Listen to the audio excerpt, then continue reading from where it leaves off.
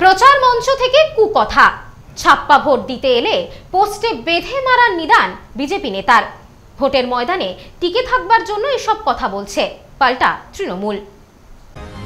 এবারের নির্বাচনে তৃণমূল কর্মীরা ছাপ্পা ভোট দিতে এলে তাদের পোস্টে বেঁধে চেলাকাট দিয়ে ধোলাইয়ের নিদান দিলেন বিজেপি নেতা। তার এই মন্তব্যে রাজনৈতিক মহলে চাঞ্চল্য ছড়িয়েছে।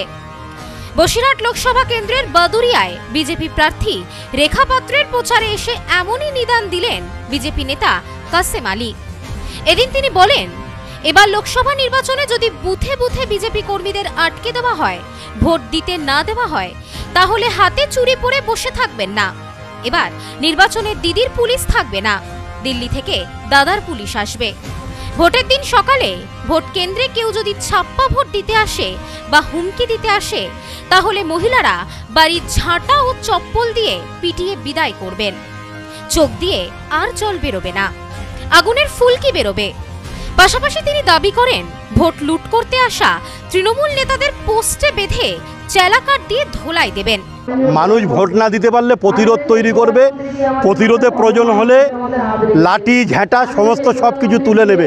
গত পঞ্চায়েত নির্বাচনে তৃণমূল যেভাবে সন্ত্রাস করেছে আমাদের কর্মীরা রক্তাক্ত হয়েছে আমাদের কর্মীরা খুন হয়েছে আমরা তো তাদের মুখে মিষ্টি তুলে দেব না। এবারে প্রতিরোধ হবে। প্রয়োজন হলে তৃণমূলে যারা রিগিং করতে আসবে পোস্টারে বেঁধে মানুষকে বলব চেলা কাঠ দিয়ে ধোলাই হবে। কিসের আইন? আইন তো সবার জন্য সমান। যখন সন্দেশখালিতে সাজান অত্যাচার করছিল কোথায় ছিল পুলিশ কোথায় ছিল প্রশাসন? আসলে প্রশাসন দলেদাস পরিণত হয়েছে। বিজেপি নেতার এমন মন্তব্যকে সমর্থন করে বসিরহাট লোকসভার বিজেপি প্রার্থী রেখা পাত্র বলেন এতদিন মানুষ তৃণমূলের গুন্ডা দ্বারা অত্যাচারিত হয়েছেন। এবার রুখে দাঁড়ানোর দিন এসেছে।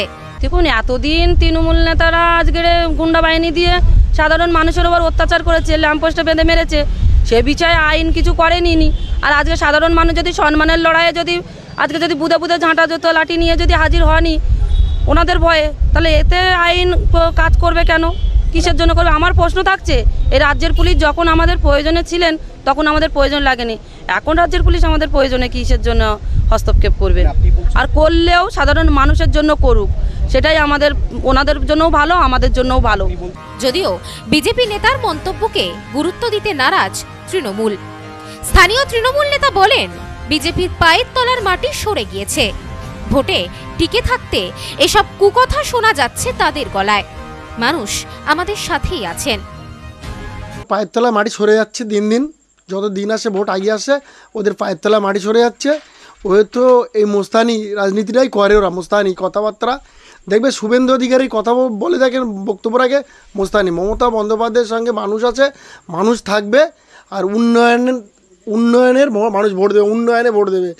আর হাই নাম যখনই মমতা বন্দ্যোপাধ্যায় ব্রিগেডে ডিক্লেয়ার দিয়ে দিয়েছে, তখনই হাই সাহেব জিতে গেছে। কেন? হাই সাহেব গত যখন নয়ে, দাঁড়িয়েছিল, সে উন্নয়ন প্রত্যেক অঞ্চলে, প্রত্যেক বুথে বুথে দাঁড়িয়েছে।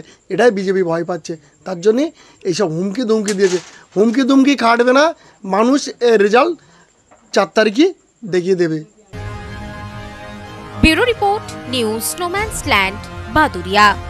Sampriti guest house hotel and restaurant. সমস্ত আধুনিক সুবিধাযুক্ত AC double bedroom standard double bedroom twin bedroom deluxe double bedroom. আমাদের হোটেলেই রয়েছে বাঙালির খাবার সহ মাল্টি কুইজিন রেস্টুরেন্ট। শহরের মধ্যে অথচ সম্পূর্ণ নিরাপদ পরিবেশে থাকা খাওয়ার একমাত্র ঠিকানা। Sampriti guest house hotel and restaurant. Chakdah road টবাজার Bongaon. Phone zero three two one five two five seven six zero three.